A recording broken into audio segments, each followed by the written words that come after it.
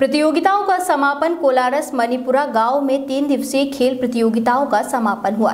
ये आयोजन नेहरू युवा केंद्र के तत्वाधान में भरोसा युवा मंडल द्वारा किया गया। उक्त कार्यक्रम कोलारस तहसील अंतर्गत मणिपुरा के बालक उच्चतर विद्यालय में संपन्न हुआ, जिसमें खिलाड़ियों को पुरस्कार वितरित किए गए और छात्र छात्राओं को शील्ड व टी शर्ट वितरित की गई। इस दौरान मुख्य अतिथि विधायक वीरेंद्र रघुवंशी, मंगल सिंह कुशवा रामजी लाल धाकर प्राचार्य के KC Jat, Rajesh Vijayvargiya, S K Ataria, Virendra Lodhi, Brajesh Kushwaha कल्याण, राजावत राजू कुशवा रविंद्र धाकड़, हाकिम सिंह, कृष्णवीर दांगी, सुनील कुशवा मौजूद रहे। अनुशासन देने की बात हो, इस ओर भी हमें ध्यान देना है, क्योंकि ये उम्र आपकी ऐसी होती है, हम लोग अपेक्षा करते हैं कि हमसे अगर कोई भूल जीवन में हुई है, इस उम्र में आके तो आपसे ये भूल ना हो, और ये शिक्षा देने का काम ये मार्गदर्शन देने का काम हम बड़ी उम्र के लोगों को करना चाहिए। बातें बहुत हैं कहने को, आप सबने, मुझे अभी अभी महीना भर हुआ है, अपने क्षेत्र की सेवा का मौका दिया है। अपना विधायक के रूप में चुनकर मुझे भोपाल, संभाग और ज़िले पर और विधानसभा में अपनी बात रखने के लिए, क्षेत्र के विकास के लिए आपके साथ न्याय हो, आपकी हर योजना भारत सरकार और प्रदेश सरकार की योजना कॉलरस विधानसभा के घर घर में आए। एक नसरुल्लागंज की नगर पंचायत कॉन्फ्रेंस हॉल में 26 जनवरी की तैयारियों को लेकर बैठक हुई, जिसमें अनुविभागीय अधिकारी राजेश शुक्ला, नगर अध्यक्ष अनीता राजेश लखेरा, शिक्षा विभाग के अधिकारी, नगर उपाध्यक्ष Rajesh Pawar, scout guide commissioner Rajesh Lakhera सहित स्कूलों के संचालक शामिल हुए। बैठक में छब्बीस जनवरी की तैयारियों को लेकर चर्चा हुई, साथ ही बच्चों की सुरक्षा व्यवस्था सहित अन्य व्यवस्थाओं को लेकर चर्चा हुई। आठ पचास पे हम सभी को आठ पचास से पहले मेन ग्राउंड में पहुँच जाना है। हमारे जो हमारी अधिकरण है उसी साहब हैं, वो इस बार के प्रतिनिधि होंगे। वो आठ पचास से ग्राउंड में पहुँच जाएँगे। अधिकरण का अतिथि अतिथियों का रखना है। नौ बजे एग्जैक्ट ध्वजारोहण होगा। माननीय मुख्यमंत्री द्वारा इसके ध्वजारोहण के तत्काल बाद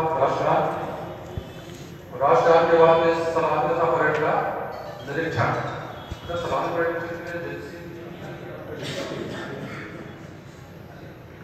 परेड निरीक्षण के तत्काल बाद माननीय मुख्यमंत्री जी का संदेश वाचन नगर पंचायत कर दिया जाएगा फिर मार्च पास जैसा संदेश वाचन समाप्त होगा मार्च पास होगा मार्च पास के बाद मध्य प्रदेश गान रिकॉर्डिंग मध्य प्रदेश की रिकॉर्डिंग चलेगी काटने के बाद छत्तीसगढ़ मंच पर ग्रहण करेंगे। इसके बाद आपके सांस्कृतिक कार्यक्रम शुरू होंगे। पिछली बार जो हुआ था पहले बैंड प्रस्तुति हुई थी, बैंड प्रस्तुति के बाद फिर जो आपके पास सांस्कृतिक जो करेगी वो कार्यक्रम होंगे और इसके बाद फिर पुरस्कार। अब इसमें कोई संशोधन करना कार्यक्रम आने के पीछे तो आप बता सकते हैं। सीहोर जिला के नसरुल्लागंज में आनंद उत्सव का शुभारंभ हुआ। शासकीय उत्कृष्ट विद्यालय में आयोजित इस उत्सव में खेल प्रतियोगिता आयोजित की गई, जिसमें विद्यार्थियों ने बढ़ चढ़कर हिस्सा लिया। कार्यक्रम की शुरुआत नगर अध्यक्ष अनीता राजेश लखेरा ने की। इस अवसर पर उन्होंने कहा कि विद्यार्थियों खेलों में बढ़ चढ़कर भाग ले रहे हैं और नसरुल्लागंज का नाम रोशन कर रहे हैं। साथ ही उन्होंने बच्चों के अभिभावकों से निवेदन किया कि वे बच्चों को खेलों के प्रति उत्साहित करें। लाडले प्यारे बच्चों, सर्वप्रथम तो आप सभी को आज के इस कार्यक्रम की बहुत बहुत शुभकामनाएँ। और मैं कहना चाहूँगी कि आनंद लोकसभा चुनाव में प्रत्याशियों के चयन के लिए पर्यवेक्षक संजय कपूर खंडवा पहुँचे।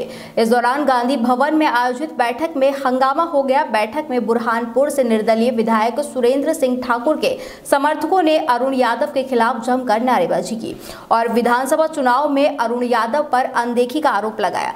वहीं विधायक ठाकुर ने कहा कि लोकसभा चुनाव में टिकट नहीं दिया गया तो समर्थन वापस ले लिया जाएगा।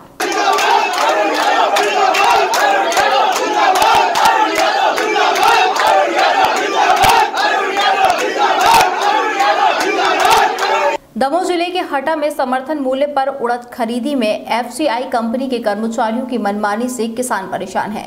शुक्रवार को लोहारी समिति के सर्वेयरों ने न आने से किसानों की खरीदी नहीं हो पाई, जिससे गुस्साए किसानों ने कृषि मंडी के सामने बटियागढ़ रोड पर चक्का जाम कर दिया और नारेबाजी की उधर घटना की सूचना मिलने पर पहुँचे एसडीओपी कमल जैन और तहसीलदार ज्योति ठाकुर ने किसानों को शांत कराया और खरीदी शुरू करने के निर्देश दिए प्राइस पर, एमएसपी पर नरेंद्र मोदी जी ने घोषणा की थी कि किसानों की उड़द हो या कोई भी जिन्स हो, उनका एक एक दाना खरीदा जाएगा। लेकिन आज हटा के अंदर जितनी सोसाइटी हैं, उसमें मात्र दस दिन से खरीदारी हुई है। उसमें भी पाँच छः दिन से सर्वेयर है नहीं। किसान का माल सुबह पास किया जाता है, शाम को फेल कर दिया जाता है। कुल मिला के किसानों को परेशान किया जा रहा है। हमारे क्षेत्र का किसान छः छः महीने से कर्ज लेके अपना माल इस उम्मीद से रखे है कि अच्छे दामों पर हमारा माल बिकेगा। लेकिन जो प्रशासन को 15 साल से बीजेपी की आदत पड़ गई है वो प्रशासन पूरा योजनाओं को फेल करने में हु, लगा हुआ है। आज किसानों को भूखे मरने की नौबत आ गई है। हमारे किसान भाई ठंड में रात रात भर यहाँ सो रहे हैं। जब आज इस पे से आज हम लोगों ने चकाजाम किया था। आपकी प्रदेश में सरकार है कांग्रेस की आप नेता है आपको ही क्यों आवश्यकता पड़ गई आंदोलन का? सबसे पहले हम जनता के प्रति उत्तरदायी हैं। जनता ही हमारा भगवान है। आज कमलनाथ जी भी, चाहे आप कर्ज माफ़ी देख लीजिए, किसानों को सहायता देने की कोशिश कर रहे हैं। ये लेकिन जो नीचे कर्मचारी बैठे हुए हैं, ये किसानों तक पहुँचने नहीं दे रहे हैं। दूसरी चीज़ एमएसपी मिनिमम सपोर्टिंग प्राइस जो एफसीआई द्वारा की जा रही है, केंद्र की योजना है। केंद्र के अधिकारी, कर्मचारी, मध्य प्रदेश गवर्नमेंट को बदनाम करने के लिए मान लीजिए या परेशान करने के लिए या उनकी नीयत साफ़ नहीं है इस योजना को फेल कर रहे हैं जिससे किसान कांग्रेस के प्रति नकारात्मक सोच आपकी है समझाइश पर किसानों ने जो आंदोलन था खत्म किया है क्या आश्वासन मिला है आपको प्रशासन से? प्रशासन के अधिकारी कर्मचारी आए आज दो दिन से सर्वेयर नहीं था। जब यहाँ पे सर्वेयर तुरंत आया, जब उनने वादा किया कि कल जो जिनका माल पास करने के बाद फेल किया गया था, उन्हें पास किया जाएगा, व्यवस्थित तौर पे खरीदी होगी और ऊपर हमारा जो मुख्य मुद्दा था कि डेट बढ़ाई जाए, ऊपर इस मांग को अभी कलेक्टर तक भेज रहे और ऊपर भोपाल तक भेज रहे इन सभी मुद्दों के बाद किसानों की सहमति से खत्म किया है। लेकिन अगर किसानों के साथ आगे ये गलत काम होगा तो हम फिर सड़कों पर उतरेंगे रतलाम ज़िले के सिंग्रामपुर गाँव में जवेरा पुलिस ने छापामार कार्रवाई की, जहाँ से टीम ने ढाबा के पीछे खेत से उन्नीस हज़ार रुपए की शराब बरामद की। पुलिस के मुताबिक ढाबा संचालक संदीप यादव अवैध तरीके से शराब बेचा करता था, जिसने खेत में बने मकान में शराब छुपाकर रखी थी। मुखबिर की सूचना पर ढाबा और खेत में छापामार कार्रवाई की गई। इस दौरान उन्नीस हज़ार की शराब जब्त की गई। मध्य प्रदेश सहायक सर्वेक्षण संघ के बैनर तले हज़ारों की संख्या में अपनी नियमितीकरण की मांग को लेकर वित्त मंत्री तरुण भनोट के बंगले पहुँचे, जहाँ उन्होंने अपनी नियमितीकरण की मांग की। सर्वेक्षण सहायक अपनी 2014 में आयोजित परीक्षा और ट्रेनिंग के बाद भी अपनी नियमितीकरण के इंतज़ार में है। पिछली सरकार से लगातार चर्चा के बाद भी कोई ठोस आश्वासन नहीं मिलने पर नाराज़ सहायक सर्वेक्षण बड़ी संख्या में वित्त मंत्री तरुण भनोट के बंगले पहुँचे, जहाँ काफ़ी इंतज़ार के बाद मंत्री जी से उनकी मुलाकात हुई और चर्चा की। वहीं इधर वित्त मंत्री ने बताया कि जल्द ही मांग पर अधिकारियों से चर्चा की जाएगी और उचित निर्णय लिया जाएगा। वहीं सर्वेक्षण कर्मियों का कहना है कि मंत्री जी ने हमारी बात को गंभीरता से सुना है और जल्द ही अधिकारियों से बात करने की बात कही है। दृष्टिया तो उनकी मांगे बड़ी जायज़ है। अगर सरकार ये करे कि अपने ही प्रदेश के नौजवानों का विश्वास अर्जित ना कर पाए, परीक्षा बुलाए, उनसे फ़ीस ले, उनको नियुक्ति दे और उसके बाद उसका सम्मान ना रखे तो इससे दुर्भाग्यपूर्ण कोई बात हो नहीं सकती। और हमने वचन पत्र में कांग्रेस पार्टी के स्पष्ट रूप से चुनाव के पहले कहा था कि ऐसे सारे मामलों पर हम उचित कार्रवाई करेंगे और जिनके साथ धोखा हुआ है, उनका विश्वास सरकार के प्रति पुनः बहाल हो। सबसे महत्वपूर्ण तो इन नौजवानों का व्यवस्था से मोहमंग नहीं होना चाहिए। ये हमारे घरों के बच्चे हैं, हमारे प्रदेश के हैं, ये हमारे देश का भविष्य है। अगर इनके साथ धोखा होगा और इनका व्यवस्था से विश्वास हटेगा तो ये अच्छी बात नहीं है। संबंधित अधिकारियों से मैं पहले भी कह चुका हूँ और वो रिपोर्ट तैयार कर रहे हैं। हम जल्दबाजी में कोई निर्णय नहीं करना चाहते हैं। हम रिपोर्ट तैयार करने के बाद में जो प्रतिनिधि मंडल मुझसे आज मिला है इनके सहयोगियों को साथ में बिठाकर अधिकारियों को साथ में बिठाकर चर्चा करेंगे और इसका कोई ऐसा रास्ता निकालेंगे कि इनका नुकसान भी ना हो सरकार का भी किसी प्रकार का नुकसान ना हो और हमारे देश के प्रजातांत्रिक व्यवस्था पर सरकार के ऊपर हमारे नौजवानों का विषय जी मेरा नाम सोनू शर्मा है मैं भिंड से आया हुआ हूँ। हम यहाँ तम- माननीय तरुण बनोट जी से मिलने आए थे जो हमारा एग्ज़ाम हुआ था सर्वेक्षण सहायका दो हज़ार चौदह में उसकी नियुक्ति के विषय में उन्होंने वचन पत्र में अपने में दिया था कि अ, हमारी सरकार अगर आती है तो हम आपको नियुक्ति प्रदान करेंगे। उसी के सिलसिले में उनका स्वागत मंत्री, मंत्री जी ने बोला है कि 28 तारीख को हम आपके मंत्रिमंडल को के साथ और हमारे विभाग के अधिकारियों के साथ बैठकर चर्चा करेंगे कि अभी तक इनकी नियुक्तियाँ क्यों नहीं हुई और जो उचित निर्णय होगा उनका हम 28 तारीख को आपको उचित निर्णय करके बताएँगे। पर अट्ठाईस तारीख को अगर मांगे पूरी नहीं हुई तो? 28 दिन तारीख को हमें पूर्ण विश्वास है हमारी मांग पूरी होगी। आंदोलन जारी रहेगा आगे। 28 तारीख को हमारा हमें नियुक्ति प्रदान होगी। भारत में बढ़ते लैंगिक अपराधों पर रोकथाम के लिए वर्ल्ड विजन इंडिया 20 जनवरी से 28 जनवरी तक लैंगिक शोषण से मुक्त करने का आयोजन करने जा रही है, जिसमें मुख्य अतिथि के रूप में राज्यपाल आनंदीबेन पटेल मौजूद रहेंगी। इस कार्यक्रम के बारे में संस्था प्रमुख का कहना है कि बढ़ते लैंगिक शोषण से मुक्ति के लिए बच्चों में जागरूकता दी जाएगी ताकि अपराध पर रोकथाम लग सके। मेरा नाम रेखा है और मैं हिफाजत करके एक संस्था से हूँ। और हम सब एक नेटवर्क के माध्यम से, जिसको वर्ल्ड विजन ने ये प्लेटफॉर्म दिया है कि सारी संस्थाएँ आएँ और अपनी बात कहें यहाँ पर। और जॉइंटली हम लोग जो है बाल यौन शोषण के खिलाफ एक मुहिम छेड़ा है हम लोगों ने। और ये 20 तारीख से लेकर 28 तारीख तक का ये मुहिम हम लोगों ने इस तरीके से एक प्लान करके छेड़ा है, जहाँ हम लोग 20 तारीख को मैराथन के द्वारा जन जागरूकता अभियान चलाएँगे और अलग अलग गली और अलग अलग शहरों के अलग अलग हिस्सों में जाके स्टेडियम से टीटी नगर स्टेडियम से लेकर एक तीन चार किलोमीटर के दायरे में और लोगों के बीच में एक जन जागरूकता के माध्यम से ये बताएँगे कि बाल यौन शोषण की क्या स्थिति है और कैसे इनसे बचा जा सकता है। बच्चों की बातों को भी सुनना ज़रूरी है। किस तरीके से माँ बाप जागरूक होकर इस एक बचाव के स्तर पर कार्य कर सकते हैं क्योंकि इसका आप कितना भी सख्त कानून बना लें, जब तक आप बचाव के स्तर पे कार्य नहीं करेंगे, बच्चों को बचाना थोड़ा नामुमकिन होगा। तो ये इस माध्यम से हम लोग एक जन जागरूकता फैलाएँगे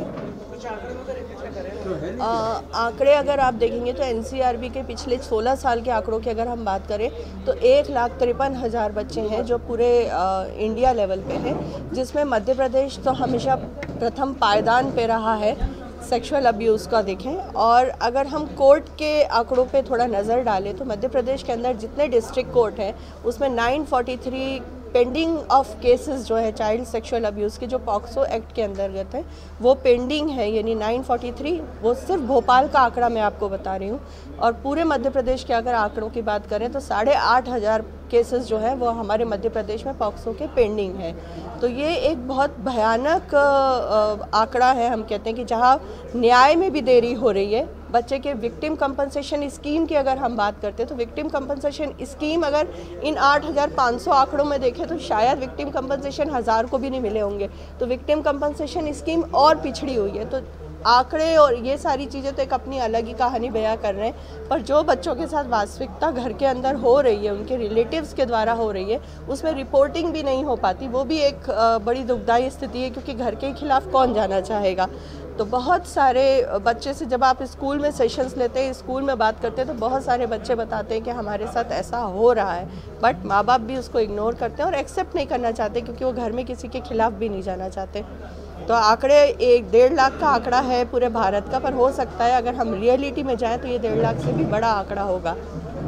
इसका कहीं ना कहीं नेट भी और दूसरा बड़वा पुलिस ने बजरंग घाट से 160 लीटर शराब जब्त की। थाना प्रभारी योगेंद्र सिंह तोमर ने बताया कि खरगोन के पुलिस अधीक्षक और बड़वा एसडीओपी मान सिंह ठाकुर के निर्देश पर कार्रवाई की गई है। उन्होंने बताया कि टावर बढ़ी के सतीश को बजरंग घाट से 160 लीटर शराब के साथ पकड़ा है। वहीं एक अन्य मामले में पुलिस ने दो बियर की पेटी भी पकड़ी है, जिसमें सुराना नगर से हरजीत सिंह को भी हिरासत में लिया गया है।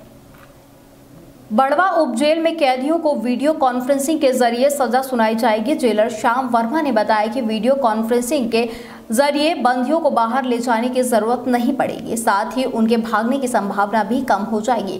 वहीं कैदियों की जेल के अंदर वीडियो कॉन्फ्रेंसिंग के ज़रिए ही पेशी की जाती है। आपको बता दें कि सुभाष चंद्र बोस की जयंती पर 23 जनवरी को जबलपुर जेल से हाई कोर्ट के chief justice S K Seth ई कोर्ट की विधिवत शुरुआत करेंगे, जिससे कैदियों को पेशी पर नहीं ले जाना पड़ेगा। वीडियो कॉन्फ्रेंसिंग स्टार्ट हुई है। उससे हम लोगों को बंदियों को लाने ले जाने में जो सुरक्षा की दृष्टि से काफ़ी बेनिफिट हुआ है। बीच में ऐसी शिकायत आती कि बीच में से फरारी या अन्य घटना घटित होती है तो उससे बचा गया है। और सेकेंडली जेलों के आने जाने में जो अनावश्यक वर्डन होता है, वो भी हमें, हमारा कम हुआ है। आने वाले समय में बंदियों को भी इससे काफ़ी बेनिफिट होगा। उनको जल्दी जल्दी न्याय भी मिलेगा और जल्दी डिसीज़न भी होगा। फ़िलहाल इतना ही। देश और दुनिया की तमाम बड़ी खबरों के लिए आप बने रहिए सेवन आई न्यूज़ के साथ। नमस्कार।